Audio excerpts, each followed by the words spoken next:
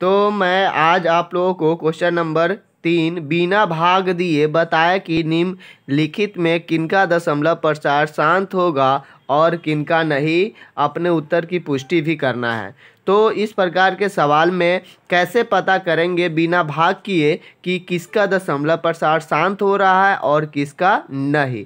तो मैं आपको पीछे ही पिछले ही वीडियो में बता चुका हूँ कि जिसका रूप p बटे टू के पावर n या पाँच के पावर m ऐसे रूप में आ जाता है, उसी का दशमलव प्रसार क्या होता है? शांत होता है। तो उसी के अकॉर्डिंग हम लोग चलते हैं क्वेश्चन की ओर। क्वेश्चन देखेंगे। पहला नंबर।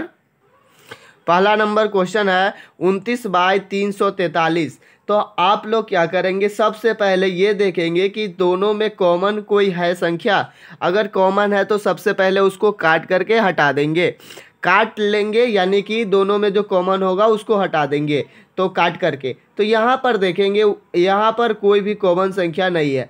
तो ऊपर में उनतीस का उनतीस हो जाएगा और इसको तीन सौ तैतालीस को आप तोड़ेंगे तो पाएँगे तीन सौ तैतालीस है। तो यहाँ पर आ जाएगा तीन से लगेगा नहीं, सात से लग जाएगा। सात चौक अट्ठाईस छः, तीन, नौ और तिरसठ। और सात सत्तर उनचास। यहाँ पर आ गया सात के पावर तीन। तो मैं क्या बता चुका था कि दो के पावर और पाँच के पावर ऐसे होगा तभी ये शांत होगा, अन्यथा नहीं होगा। तो यहाँ पर ये जो है, वो दशमलव प्रसार क्या है? अशांत है। यानी कि ये शांत नहीं है, ठीक है? और इसमें क्यों नहीं है? तो कारण भी बता दिए, क्योंकि इसमें पी बाई टू के पावर एम और पाँच के पावर एन ऐसा कोई रूप नहीं है। इसको एन भी लिख सकते हैं इसको एम भी लिख सकते हैं कुछ भी लिख सकते हैं आपके ऊपर डिपेंड करता है। तो यहाँ पर आप देखेंगे कि तीन और बाई आठ है। आठ को आप तोड़ेंगे तो दो के पावर तीन आएगा। कितना आएगा? तीन आएगा। तो आपको ये भी बताए थे कि यहाँ पर आपको दो के पावर, इसमें से ये वाला स्टेप आ जाए, या ये आ जाए, या दोनों आ जाए, उस स्थिति में, तीन स्थिति में शांत होता है। क्योंकि यहाँ पर जो है, आप लोग अगर नहीं समझ पाते हैं तो यहाँ पर हम बताए थे कि यहाँ पर ज़ीरो भी रख सकते हैं, अगर आपको ऐसे लाना है तो। तो यहाँ पर एक भी स्टेप आ जाता है इसमें से, और दूसरा कोई भी नहीं रहता है तो उसको हम क्या बोलते हैं? शांत बोलते हैं। ठीक है? उसी तरह से अगला आपका क्वेश्चन जो है, वो क्या है? इसमें भी कॉमन कुछ भी नहीं है काटने वाला तो इसको मैं काटूँगा नहीं क्योंकि कटेगा ही नहीं। और इसको तोड़ेंगे तो यहाँ पर 400 कितना है? पचपन है। इसको किससे लगा दें? पाँच से, क्योंकि लास्ट में पाँच दिखता है, दो तीन से लगेगा नहीं।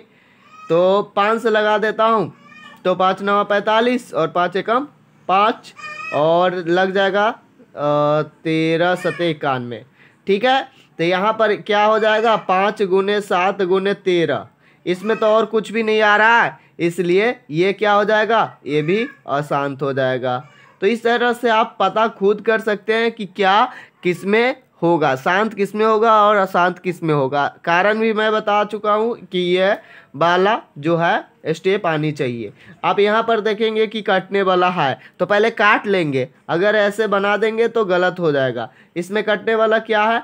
आ, तीन से कट जाएगा तीन दूनी के छः और तीन पच्चे के पंद्रह। तो तीन दूनी छः तीन पचे पंद्रह तो दो बाई पाँच आ गया। तो यहाँ पर पाँच के पावर ना कुछ तो एक तो है। तो यहाँ पर हम आपको बता दिए थे कि ये वाला स्टेप आए, चाहे ये आए या दोनों आए, दोनों स्थिति में क्या होता है? शांत होता है तीन स्थिति में। ठीक है? ये दोनों आ जाए, या एक ये आए, या एक ये आए। तो इस तरह से आप आसानी से बना सकते हैं। इसमें और क्वेश्चन है। इसमें टोटल क्वेश्चन कम से कम नाइन और इधर भी है, नहीं है।